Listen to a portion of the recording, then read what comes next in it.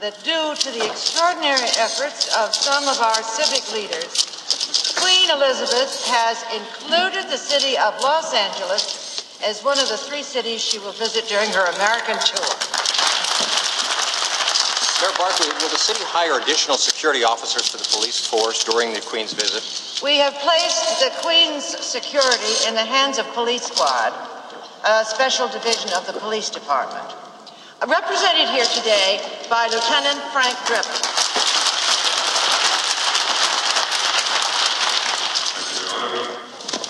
Protecting the safety. Fire!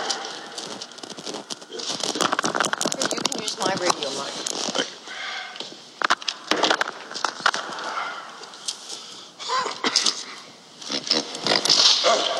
Thank you, Your Honor.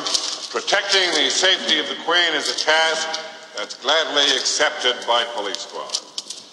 For no matter how silly the idea of having a queen might be to us, as Americans, we must be gracious and considerate hosts. Uh, thank you, Lieutenant Drebin.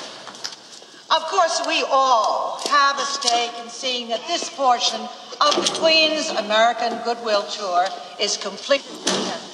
And we can all take pride that the Queen has chosen our to. Um, indeed, it is for all the people who will be able to share in the uh, celebration, especially will be the Queen's public appearances.